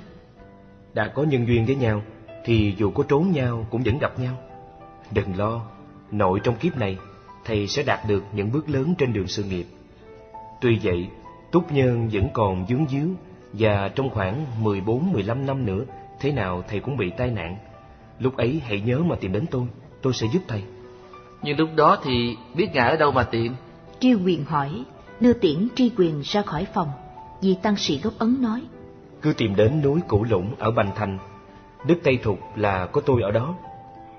Từ dưới chân núi nhìn lên, thấy chỗ nào có hai cây tùng dương lên cao ngất thì đó là nơi tôi ở. Thầy nhớ lấy tên núi nha, Cửu Lũng Sơn ở Đức Thục. Thế rồi, vị tăng sĩ Ấn đã ra đi, và từ đó thầy tri quyền không còn nghe ai nhắc đến tên người. Thời gian qua mau, tri quyền dần dần nổi tiếng là bác thông kinh sử. Mỗi khi thầy đăng đàn thuyết pháp là hàng ngàn người đến dự. Đất thần kinh thiếu gì cao tăng, nhưng tiếng tâm pháp sư tri quyền lừng lẫy. Cho đến một ngày kia, Du Ý Tông cũng phải lưu tâm để ý. Năm ấy, nhằm tiết Phật đản, Du Triệu Pháp Sư tri quyền vào cung thuyết pháp cho Hoàng Thái Hậu. Hoàng hậu, các thái tử, công chúa và văn võ bá quan nghe. Trên pháp tọa, Pháp Sư tri quyền tướng mạo đoan nghiêm, đẹp như một vị Phật sống. Tiếng nói của người sang sảng, lôi cuốn kính giả đi vào thế giới của diệu pháp một cách say mê. Vua Ý Tông rất đẹp lòng, truyền ban tặng cho Pháp Sư một áo cà sa màu tía. Từ đó, danh tiếng của tri quyền càng thêm lừng lẫy. Lúc ấy, ông đã được 43 tuổi. Sau nhiều lần triệu thỉnh Pháp Sư tri quyền vào cung thuyết Pháp, dù Ý Tông lại tôn ông làm quốc sư và tứ cho tri quyền danh hiệu Ngô Đạt. Sửa soạn chùa An Quốc ở sát Hoàng Cung cho Mỹ Lệ. Và rước quốc sư Ngộ Đạt về trụ trì tại đó để tiện việc lui tới thăm hỏi đạo màu. Danh tiếng của Pháp Sư Tri Quyền tức quốc sư Ngộ Đạt lên tới đỉnh cao nhất là vào mùa thu năm quốc sư vừa đúng 45 tuổi, khi vua Ý Tông ban sắc chỉ cho toàn quốc chọn người tới kinh đô để nghe Ngộ Đạt quốc sư giảng kinh Pháp qua. Năm ngàn chỗ ngồi được để dành cho hoàng gia và bá quan, khách tăng và sĩ phu toàn quốc. Dân chúng ở kinh đô nô nức đến nghe quốc sư giảng kinh. Người nghe Pháp đứng chật cả hàng trong hàng ngoài. Hàng chục ngàn người im lặng nghe tiếng giảng kinh sang sảng của quốc sư. Các buổi giảng kinh Pháp qua được kéo dài trong một tháng và trong suốt thời gian ấy, vua Ý Tông không bỏ sót một buổi nào. Hôm đó là ngày bế mạc khóa giảng Pháp qua. Nhân dịp này, vua Ý Tông định làm lễ dâng lên quốc sư một pháp tọa bằng gỗ trầm hương để pháp sư ngồi giảng buổi giảng cuối cùng. Pháp tọa đặt rất cao để cho đại chúng mấy mươi ngàn người được chiêm ngưỡng dung mạo của quốc sư. Hôm ấy, nghi lễ thỉnh sư được cử hành thật long trọng. Sau khi làm lễ dân pháp tọa trầm hương, vua Ý Tông đứng dậy cung thỉnh quốc sư bước lên pháp tọa, thì quần chúng Phật tử đều quỳ xuống làm lễ. Có người cảm động đến rơi lệ. Buổi giảng kinh đó là một buổi giảng kinh mà suốt đời Ngộ Đạt sẽ không quên được. Buổi giảng kinh đó đã đánh dấu một biến chuyển lớn lao trong đời tu hành của Thích Tri Quyền. Ngồi trên một tảng đá dưới chân núi Cửu Lũng, vị Du Tăng nhớ lại lúc mình bước lên vào pháp tọa trầm hương. Trong khi hàng chục ngàn người cúi sạp mình làm lễ, trong đó có vua đường Ý Tông, thấy mình là người tu hành mà đạt đến một địa vị cao tột trong nhân gian như thế, Ngộ Đạt trong một giây phút ngắn ngủi, bỗng thấy một niềm tự hào dâng lên trong lòng. Quốc sư biết là tà niệm đã khởi, mặt đỏ bừng, liền ngồi xuống pháp tọa và nhiếp mình vào chánh niệm. Nhưng chậm mất rồi. Bỗng dưng, trong khoảng không có một vật gì nhỏ bé, nhỏ bằng một hạt cát sáng trưng bay xẹt xuống, trúng vào bắp đùi bên trái của quốc sư, làm đau nhói tới xương tủy. Không chịu đựng nổi sự đau đớn tột cùng ấy, Ngộ Đạt buộc la lên một tiếng, hai tay ôm lấy bắp đùi bên trái. Vua Ý Tông lật đật đứng dậy, hô thị vệ dìu quốc sư xuống pháp tòa. Buổi giảng kinh cuối cùng như vậy là bị bãi bỏ. Quốc sư hình như đã bị một loài rết độc cắn nhầm bắp đùi, đang lên cơn sốt. Ngộ Đạt biết mình không hề bị rết cắn, cái hạt bụi sáng loáng ấy đã từ trên không gian bay xuống nhanh như một làn chóp, không làm thủng áo cà sa mà lại chui thẳng vào bắp đùi của mình. Song ông im lặng không nói, mặc cho các quan ngự y giải thích. Bắt đầu từ đấy, vết thương trên bắp chân quốc sư làm độc. Vết thương sưng tím căng phồng lên như một trái bưởi, đau nhức khôn cùng. Mười ngày sau, ung nhọt khổng lồ nứt nẻ ra thành một một ghẻ lớn, máu mũ chảy ra hàng bát, mỗi ngày nhiều bận. Thuốc thang trong uống ngoài thoa do các ngự y đưa tới có tới hàng ngàn thứ mà không thứ nào chữa trị được cho quốc sư. Vua Ý Tông không ngớt ra vào thăm hỏi và ra lệnh triệu thêm thầy hay, tìm thêm thuốc giỏi, đem về kinh chữa trị cho vị cao tăng của cả triều đình. Nhưng một năm trời đã qua đi mà ung nhọt kia vẫn không xẹp. Thân thể quốc sư gầy ốm trông thấy và một lần nọ ngự giá đến chùa An Quốc thăm vua Ý Tông đã thấy một giọt nước mắt long lanh trên mi quốc sư. Vào một buổi khuya, sau khi đã trằn trọc hàng canh trên giường, quốc sư Ngộ Đạt quyết định bỏ chùa An Quốc ra đi. Một năm trời nằm trong ngôi tự để cho bao người phục vụ và hầu hạ, không làm nên được tích sự gì cho quốc gia. Ngộ Đạt cảm thấy trong lòng bất an và hổ thẹn. Đỉnh danh vọng đã lên cao chót vót, hồi tuổi nhục bây giờ cũng đã xuống đến nơi thăm thẳm sâu. Quốc sư bỏ chùa lén ra đi ngay trong buổi khuya đêm ấy. Trên thân hình chỉ có một chiếc áo tràng và trên tay một chiếc tích trượng du ban. bắp chân đau nhức, nhưng quốc sư đã gắn đi suốt đêm. Ra khỏi kinh đô thì trời vừa hé sáng, thấy một khúc tre ai bỏ bên đường, quốc sư cúi xuống nhặt lên làm gậy chống đi, và khi qua cầu, ông đã ném chiếc tích trượng du ban xuống dòng sông chảy xiết. Tích trượng trôi trở về kinh đô, còn quốc sư thì hướng về phía núi xanh cất bước. Trưa hôm ấy, đi ngang một cảnh chợ quê, quốc sư được một người đàn bà dân cúng hai trái chuối và một gói xôi. Sợ ăn xôi thì một ghẻ sẽ căng thêm mũ, nên quốc sư từ chối gói xôi, chỉ nhận hai trái chuối. Ngồi trên một mô đất, quốc sư lấy bùn, trét vào mặt cho lem luốc, kẻo sợ có người nhận diện được mình. Chưa biết sẽ đi về đâu, thì bỗng nhiên trong trí quốc sư hình ảnh ca nạc ca, vị du tăng Ấn Độ hiện đến như một tia chớp giật. Quốc sư nhớ lại những điều căn dặn của vị tăng sĩ gốc Ấn. Trong vòng 14 hay 15 năm nữa, thế nào thầy cũng bị tai nạn. Lúc ấy hãy tìm đến tôi, tôi sẽ giúp thầy. Cứ tìm đến núi Cửu Lũng ở Bành Thành đất Tây Thục. Lập tức, quốc sư chống gậy đứng dậy và hỏi đường về đất Thục.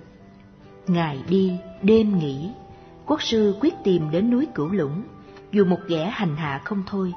Máu mũ làm ướt sũng ống quần, nhưng quốc sư không có quần khác để thay. Máu mũ đã làm cho ống quần của quốc sư dày cộm như mo và một mùi tanh hôi xông lên nồng nặc, nhưng quốc sư vẫn cố gắng chịu đựng. Chiếc áo tràng cũng dính đầy máu mũ, cả vạt trước lẫn vạt sau. Chiếc áo tràng sau nhiều tháng du hành đã trở nên bạc thết và dính đầy bụi đường. Mỗi buổi chiều, lúc nghỉ chân trên một rễ cây hay một tảng đá, quốc sư thường dán ống quần nhìn vào một ghẻ. Một ghẻ vẫn lớn như một trái bưởi to, có bốn lỗ đỏ choét. Hai lỗ phía dưới gần đầu gối giống như một cặp mắt, lỗ giữa giống một cái mũi, và lỗ phía trên bắp chân loét ra như một cái miệng. Quốc sư nhìn một ghẻ như nhìn vào một mặt người. Quốc sư đối diện với một ghẻ như đối diện với một khuôn mặt con người. Có khi một ghẻ như muốn trợn mắt, mắm môi đe dọa quốc sư. Một ghẻ nhìn quốc sư như một kẻ thù, và quốc sư nhìn một ghẻ như một khuôn mặt quan gia. Đau xót thì có, nhưng oán hận thì không. Quốc sư không nghĩ đến chuyện lấy nước dưới sông rửa cho một ghẻ. Trong một năm trời, người ta đã rửa một ghẻ bằng đủ thứ thuốc, mà một ghẻ có gì thế mà xẹp hơn hoặc sạch hơn được chút nào đâu. Trên đường tìm đến xứ thục, đã nhiều lần quốc sư được nghỉ ngơi ban đêm trước những mái tam quan, nhưng không ai nhận ra được quốc sư, bởi vì nhan sắc của quốc sư tiều tụy, áo quần của quốc sư thóc thết, hôi hám. Ngày hôm kia, một chú tiểu chùa Pháp Dân đã săn sóc cho quốc sư một cách ân cần, cảm động. Chú đã đem nước nóng cho quốc sư rửa mặt và cháo trắng cho quốc sư lót dạ. Bây giờ quốc sư đã tới được chân núi Cửu Lũng. Vị Du Tăng chính là quốc sư Ngộ Đạt, giật mình có tiếng suối róc rách đâu đây. Bỗng nhiên lời dặn của ca nạc ca lại gian lên trong trí tưởng. Từ dưới chân núi nhìn lên, thấy chỗ nào có hai cây tùng dương lên cao ngất, thì đó là nơi tôi ở. Ngộ Đạt đưa mắt nhìn lên, lạ chưa? Chót vót bên phía trái, mây mù đã loãng dần và hình ảnh của hai cây tùng hùng vĩ lộ ra, dương thẳng dậy, ngọn tùng vẫn còn khuất trong mây. Đích đó là nơi hẹn. Ngộ Đạt cầm lấy chiếc gậy trúc, từng bước, từng bước, ông tìm thế leo lên phía núi có dáng sông Tùng. Sau một thời gian vừa lết vừa trèo, Ngộ Đạt thấy thấp thoáng sau cành lá xanh rờn cung vàng địa ngọc của một ngôi phạm vũ trang nghiêm.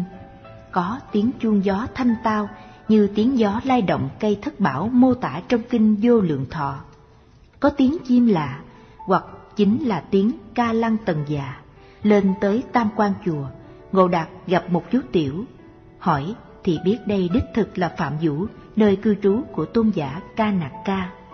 Chú tiểu vào thông báo và tôn giả Kaniska thân hành ra cổng nghênh tiếp.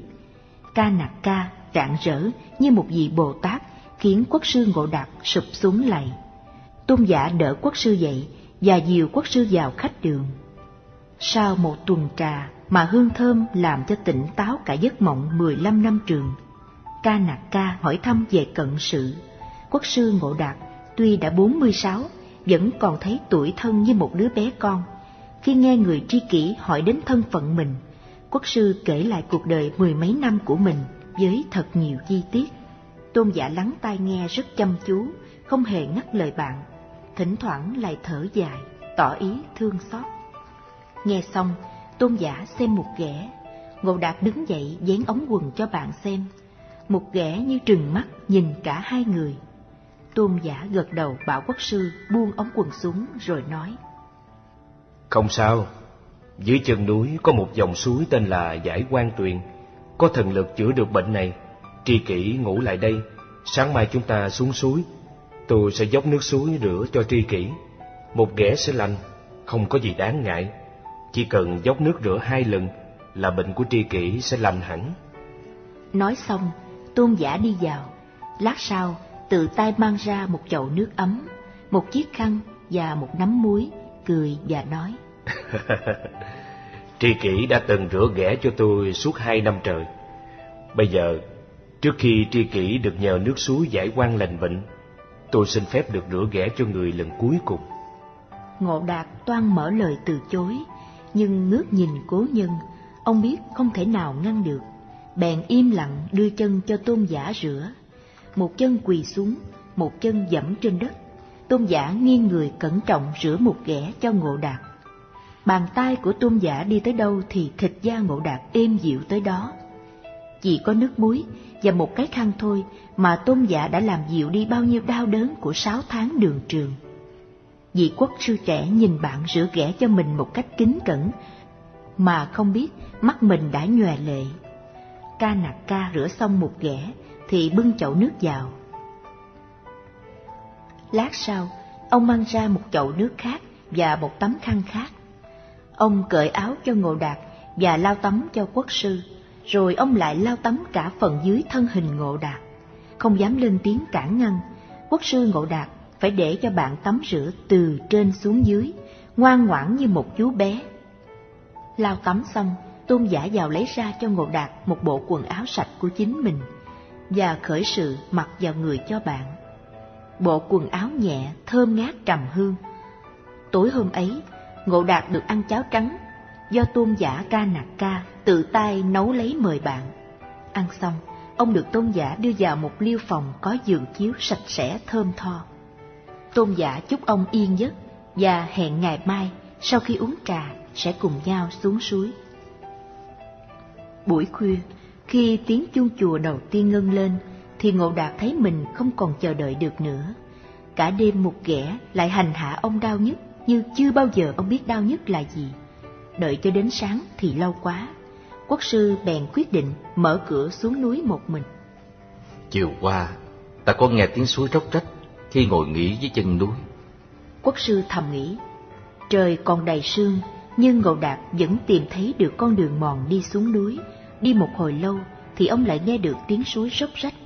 Sau đó ông đã tìm tới bờ suối. Quỳ trên một tảng đá, ông sắn ống quần bên trái cho một ghẻ lộ ra. Ông thở những hơi thở thật dài, thật nhẹ và nhiếp tâm quán niệm. Đây là dòng giải quan tuyền mà nước có thần lực chữa được chứng bệnh của mình. Ông tin tưởng nơi lời nói của tôn giả Ca Nạc Ca, ông niệm Phật rồi cúi xuống, dốc nước trong lòng hai bàn tay để phả xuống một ghẻ mặt người. Nước suối tê cống hai tay, rung rung, ông làm chảy đổ hết một nửa dốc nước ra ngoài. Chỉ còn có một ít nước phả trúng vào một ghẻ, nhưng từng ấy nước phả vào một ghẻ cũng đủ làm đau nhức đến xương tủy, khiến ông ngã ra bất tỉnh trên bờ suối. Trong cơn mê, ông thấy một khuôn mặt đỏ tía, râu ria giật ngược, khuôn mặt nhìn thẳng vào ông hỏi. Ngươi là người học nhiều, hiểu rộng, vậy đã từng đọc sách Tây Hán thư chưa? Ngộ Đạt quá đổi ngạc nhiên, nhưng vẫn gật đầu đáp. Tôi có đọc. Có đọc Tây Hán thư, chắc ngươi còn nhớ vụ án viên án về triệu thố chứ. Viên án dèm pha thế nào mà khiến cho triệu thố phải bị chém ngang hông ở chợ đông, ngươi có biết không? Trời ơi, quan ức biết chừng nào. Ngươi có biết kiếp trước, chính ngươi làm viên án, và ta chính là triệu thố hay không? Ta bị ngươi giết quan, nên đời đời ta tìm ngươi để báo quán. Tuy nhiên, trong mười kiếp liên tiếp, ngươi làm cao tăng, giới luật nghiêm minh, do đó ta không thể nào tìm được cơ hội trả thù. Nhưng trong kiếp này, ngươi được hưởng sự đãi ngộ của vua mà sinh tâm kiêu sa hao tốn đến âm đức. Cho nên ta mới có cơ hội xen vào làm hại người được. Chính ta là một ghẻ của ngươi, chính ta là quan gia của ngươi đó. Quốc sư nhìn kỹ mặt cười đối diện, kinh hãi, toàn thân toát mồ hôi hột. Ông định mở miệng lên tiếng nói một điều gì, nhưng cuối cùng không tìm ra được một lời nào, cho nên lại thôi. Ông thấy khuôn mặt đối diện đỏ tím kia bỗng nhiên dịu lại. Người ấy nói giọng hòa dịu hơn trước. Thôi, ngươi khỏi cần nói năng gì cả. Trong bao nhiêu kiếp, ta đã đau khổ vì mối quan cừu. Và chính mối quan cừu đó đã dìm mãi ta vào cõi u minh dày đặc. Nay nhờ có tôn giả ca nặc ca, ca, đem nước tam muội từ bi mà rửa cho ta. Mối quan cừu này từ đây sẽ được cởi bỏ. Ta sẽ không còn theo ngươi để mà báo quán nữa. Phần ngươi nhờ có phước báo lớn, cho nên ngươi mới gặp được tôn giả ca nặc ca, ca, được tôn giả đưa tới suối giải quan này mà rửa sạch nghiệp xưa.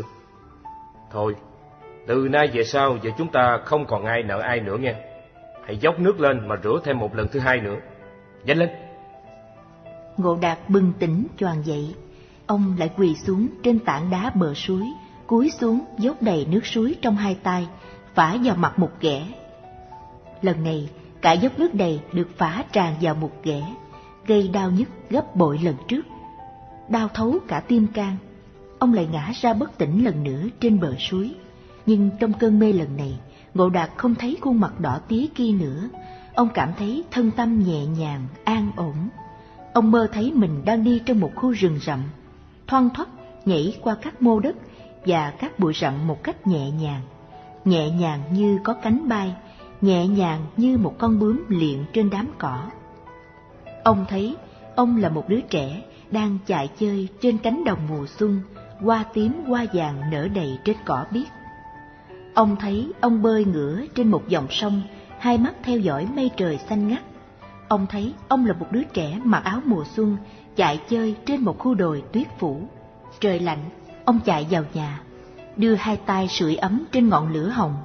Bên phải là bà ngoại ông đang khâu giá, bên trái là mẫu thân ông đang nhìn ông âu yếm. Lửa ấm quá, ông không còn có ý muốn chạy ra ngoài trời lạnh nữa. Bỗng tiếng dượng kêu gần đấy, làm ông giật mình thức dậy. Nhìn quanh, ông thấy mình đang nằm bên bờ suối, tiếng chim chóc ca hát gian cả núi rừng. Nắng đã lên từ bao giờ, đang sưởi ấm mọi vật. Ngộ Đạt cảm thấy ấm áp, nhẹ nhàng, khoan khoái. Ông choàng dậy, dạch quần nhìn xuống bắp chân, một ghẻ đã héo mặt, bắt đầu đâm da non, một ghẻ đã lành. Ngộ Đạt đứng dậy, ông cảm thấy người đầy sinh lực, không cần cây gậy trúc nữa. Ông nhìn quanh, tìm con đường mòn để trở lên chùa tạ ơn tôn giả ca nạc ca. Nhưng nhìn kỹ, ông chẳng thấy có con đường mòn nào cả. Lạ quá, chính mình sáng nay đã từ con đường ấy tìm xuống bờ suối đây mà. Nhưng quả thực là không có con đường mòn nào cả. Xung quanh ông chỉ toàn là bụi cây và tảng đá. Ngộ Đạt nhận ra một tảng đá quen thuộc, không xa chỗ mình đang đứng. Đó là tảng đá mà trên đó chiều qua, khi tới chân núi, ông đã ngồi nghỉ. Ông ngước nhìn lên núi, mặt trời ấm áp đã xua hết sương mù. Nhưng cung dạng điện ngọc của ngôi pháp vũ ở đâu? Ông đưa mắt tìm mãi mà không thấy. Hai cây tùng dương cao đọt lấp trong mây mà hôm qua ông đã thấy rõ ràng, bây giờ cũng không còn dấu vết. Tất cả những gì ông đã thấy, đã sống suốt một đêm qua, bây giờ đã tan biến như một giấc mộng. Ông ngồi xuống trên một tảng đá, hồi tưởng lại những diễn biến của sự việc chiều qua. Từ lúc nhận ra sự có mặt của hai cây tùng, cho đến lúc tìm ra ngôi phạm vũ, gặp mặt giúp tiểu đồng và hội ngộ với tôn giả ca nạc ca, rồi đến tuần trà, rồi đến mình được tôn giả rửa ghẻ, cho mặc một bộ áo quần nhẹ, sạch, ngát hương trầm. Ngộ Đạt nhìn lại bộ áo quần mình đang mặc, đó vẫn là bộ áo quần mang theo sáu tháng nay từ chùa An Quốc. Ngộ Đạt thở dài, biết mối duyên kỳ ngộ tới đây đã mãn. Hướng về đỉnh cửu lũng, ông nghiêng mình cung kính làm lễ tôn giả ca nạc ca ba lần. lọc thổn thức và tràn đầy tiếc nuối. diện chủ pháp dân tự là thích tâm thể cùng với hai vị đệ tử tìm đến thiền tự Chí Đức vào một buổi trưa nắng đẹp. Chùa Chí Đức là một thảo am nhỏ ở chân núi Cửu Lũng, nhưng phong cảnh rất tú lệ.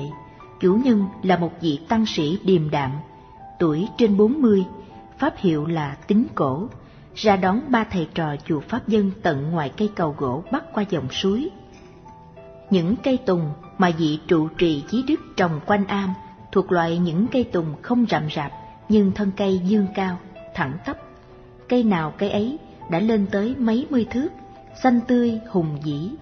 Từ lâu, viện chủ thích tâm thể đã nghe nói có một am mây tại núi Cửu Lũng, vốn không xa thiền viện Pháp Dân và mong có dịp đến viếng ngọn núi danh tiếng. Nhưng mãi đến bây giờ, nguyện ước mới thành tựu. Nay được đặt chân tới chốn phong cảnh kỳ tú này, ông cảm thấy rất hài lòng. Ông đưa mắt nhìn ngọn núi hùng vĩ. Đỉnh núi khuất trong sương mù. Ngắm những thân tùng dương thẳng lên không gian, nhìn ngôi am tự duyên dáng nắp sau cành lá gật đầu tán thưởng. Ngôi khách chủ vừa phân, thì trà được tiểu đồng mang lên. Tuần trà chưa cạn, khách nhận thấy trên án thư một cuốn kinh đang được chủ nhân chép dở nửa chừng. Nét bút linh hoạt. Viện chủ tâm thể xin phép cầm lên xem, thì thấy ngoài bìa kinh có năm chữ từ bi thủy sám pháp người đặt kinh xuống toan hỏi thì trụ trì bản am đã nói đây là một thứ nghi thức sám hối mà thầy tôi biên soạn. Sám pháp này chưa được lưu hành trong nhân gian bởi lẽ đây là bản chép đầu tiên. Viện chủ tâm thể hỏi mắt không rời cuốn kinh. Có phải lệnh sư là người khai sơn chùa chí đức? Chẳng hay danh hiệu của người là gì? Đại đức có thể cho chúng tôi biết được không? Chủ trì tính cổ nhỏ nhẹ. Dạ, chùa Chí Đức là do thầy tôi khai sơn. Thầy tôi tới dựng am tại đây để an cư tu hành vào khoảng 40 năm về trước. Trong thời gian thầy còn tại thế, am này không có danh hiệu. Chỉ sau khi thầy tôi viên tịch, cảm ơn đức sâu dày của thầy, tôi mới đặt tên thảo am này là Chí Đức Thiền Tự. Ngày thầy tôi tới đây, quanh miền chưa có nhà cửa sớm làng gì hết. Nhiều năm sau, khi thầy tôi dựng am, mới có mấy gia đình tiều phu tới chân núi này lập nghiệp. Viện chủ Pháp Dân hỏi thêm. Ngài lệnh sư đến đây khai sơn lập am, chắc Đại Đức cũng đã tới một lần với người. Trụ trì tính cổ lắc đầu. Không, thầy tôi tới núi Cửu Lũng một mình. Tôi là con trai của một người tiều phu đến lập nghiệp tại chân núi này. Có duyên may được thầy tôi thu nhận làm đệ tử Hồi đó tôi mới có bảy tuổi, không biết chữ nghĩa gì hết. Tất cả chữ nghĩa và Phật Pháp của tôi là hoàn toàn do thầy tôi truyền dạy. Thầy tôi khen tôi viết chữ tốt, nhưng tôi thấy chữ của thầy tôi mới thật là chữ có thần. Nói xong, trụ trì tính cổ nhấc một tập sách trên án thư trao cho diện chủ Pháp Dân. Đỡ lấy tập sách, diện chủ Pháp Dân nhận ra đó là bản chính của từ bi thủy sáng Pháp. Hẳn đây là bản chính do tự tay soạn giả viết ra. Diện chủ pháp dân thấy nét chữ tung hoành diễm lệ như một đoàn phụng hoàng đang bay múa. Ông tặc lưỡi buộc lời khen. À, chữ viết đẹp thật, đẹp thật. Rồi ngẩng lên, ông hỏi trụ trì tính cổ. Tôi tin sám pháp này là một sáng tác rất quý báu. Tại sao Đại Đức không nêu cao danh của lệnh sư vào trang đầu để lưu truyền hậu thế? Chủ trì tính cổ chậm rãi nói. Thầy tôi không muốn ghi tên của mình trên sách Đã ẩn tích mai danh Không muốn cho người đời này biết đến Thì còn ghi tên mình lại cho người đời sau biết để làm gì Im lặng một lát Rồi vị trụ trì chùa Chí Đức nói trầm ngâm Ngày thầy tôi mới đến đây Cảnh trí chung quanh đây thật là quan du Chính thầy tôi tự tay lập am Khai phá, trồng khoai, tỉa đậu và gieo lúa Từ tuổi nhỏ Thầy tôi đâu có biết làm những việc đó Ngày mới đến ngồi bên bờ suối, bắp chân đau nhức. Thầy tôi kiệt lực, tưởng không còn sống được đó. Trong khi vị trụ trì chùa Chí Đức nói, thì hình bóng vị du tăng 40 năm về trước từ từ hiện rõ trong ký ức của vị diện chủ chùa Pháp Dân. Phải, Hồi đó diện chủ là chú Tiểu tâm thể, mới 16 tuổi. Nét mặt đoan nghiêm ấy, phong thái uy nghi ấy, chiếc áo bạc màu ấy và cái mùi tanh tưởi ấy. Thì ra, vị du tăng ngủ dưới mái tam quan năm xưa chính là người đã khai sơn chùa Chí Đức này. Diện chủ Pháp Dân đứng dậy chắp tay thành kính nói. Bạch Đại Đức, lệnh sư đã từng ghé thiền tự và tá túc một đêm, cách đây bốn mươi năm về trước. Chính Bần Tăng đã được hân hạnh múc nước cho người rửa mặt và dâng cháo cho người đỡ dạ. Đối với Chí Đức, Pháp Dân tuy cách nửa ngày đường, nhưng là ngôi chùa gần gũi nhất. Do đó, chúng ta còn có nhiều dịp qua lại cùng nhau. Xin Đại Đức niệm tình xưa mà cho bần đạo biết cao danh của lệnh sư, người mà bần đạo đã đem lòng quý mến từ ngày gặp gỡ. Thấy dáng điệu diện chủ pháp dân trang trọng và khẩn thiết, trụ trì tính cổ, rồi đứng dậy chắp tay thi lễ đáp. Xin diện chủ an tòa, đừng lễ nghi quá mà chúng tôi thất đức tội nghiệp. Chúng tôi sẽ không dám giấu giếm ngài. Trời đã chiều, đêm nay thế nào diện chủ cũng phải ngủ lại thảo am chí đức. Chúng ta sẽ đốt nến nói chuyện. Tôi sẽ kể cho diện chủ nghe hết câu chuyện của thầy tôi. Dạ, chúng tôi sẽ không dám giấu giếm điều gì với ngài. Đêm đã khuya, nhưng trụ trì chí đức và viện chủ pháp dân vẫn còn thức. Hai ngọn bạch lạp yên lặng cháy trên án thư, các vị đệ tử đã đi nghỉ từ lâu. Rừng núi bên ngoài yên lặng quá. Sau khi kể cho viện chủ pháp dân nghe về cuộc đời của quốc sư Ngộ Đạt, từ khi gặp gỡ tôn giả Ca Nặc Ca lần đầu, cho đến khi dốc nước rửa lành một ghẻ bên dòng giải quan, trụ trì tính cổ đằng hắn một tiếng lấy giọng và tiếp. Cảm ơn đức sâu dạy của tôn giả Ca Nặc Ca. Thầy tôi từ đó nguyện ở lại núi Cửu Lũng để an cư hành đạo. Người bẻ cây che thành một túp liều trú ngụ ngay tại nơi này.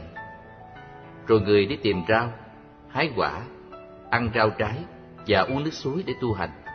Kiến thức Phật Pháp bây giờ không còn dùng để luận kinh giảng đạo nữa, mà để tham thiền, đạt ngộ.